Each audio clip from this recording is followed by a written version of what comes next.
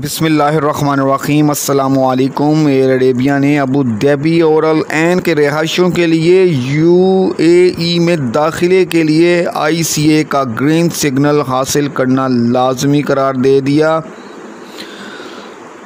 मंगल के रोज़ मुतहद अरब अमारात की कौमी एयरलाइंस एयर अरेबिया की जानब से बैरून मुल्क से यूनाइटेड अरब अमाराट्स आने वाले अबू धाबी और एन के रहायशियों के लिए सफरी शराइ में तब्दीली कर दी है। अब सिर्फ़ एन और अबू धाबी के रहायशियों के लिए यू ए ई का सफ़र करने से पहले आई सी ए का ग्रीन सिग्नल हासिल करना होगा। नई शराइ के मुताबिक अल एन और अबू धाबी के रहायशी वीज़ों के हासिल अफराद को मुतहदा अरब अमारात में दाखिल के लिए आई सी ए की वेबसाइट पर जाना होगा और वहाँ पर अपना स्टेटस चेक करना होगा और अगर आई सी ए की जानब से स्टेटस पर स्टेटस पर ग्रीन सिग्नल मिलता है तो इन्हें एयर अरेबिया के साथ सफ़र करने की इजाज़त मिलेगी। एयर अरेबिया की जानब से अपने एक ताज़ा तरीन ब्लॉग में कहा गया कि ये शराइ सिर्फ़ अल एन और अबू धाबी के रहायशियों के लिए तमाम दीगर अमारात के रहायशी वीज़े हासिल, अफराद को सफ़र से पहले ये इजाज़तनामा हासिल करने की ज़रूरत नहीं है। मज़ीद बरा एयरलाइन की जानब से बताया गया है कि ये शराइ अबू धाबी और एन की इन रहायश पर आयद होगी, जो शारजा और रैसुल खैमा का सफ़र कर रहे हैं।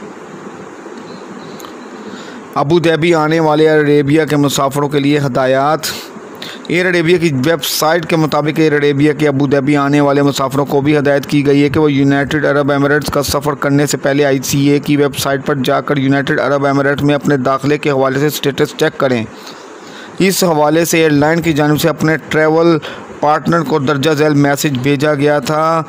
एयर अरेबिया की जानब से अपने ट्रैवल पार्टनर्स को कहा गया था कि बर मेहरबानी, नोट फरमा लें कि अबू धाबी और एन के रहाश वीज़े के हासिल अफराद को आई सी ए की वेबसाइट से यूनाइटेड एमरेट्स में एंट्री के हवाले से अपने वीज़ों को स्टेटस चेक करना होगा और वो भी स्टेटस टिकट जारी करने से पहले ग्रीन होना चाहिए। निजी खबर इदारे गल्फ न्यूज़ ने बात करते हुए एक ट्रेवल एजेंट ने शरात में इस तब्दीली की तस्दीक कर दी है।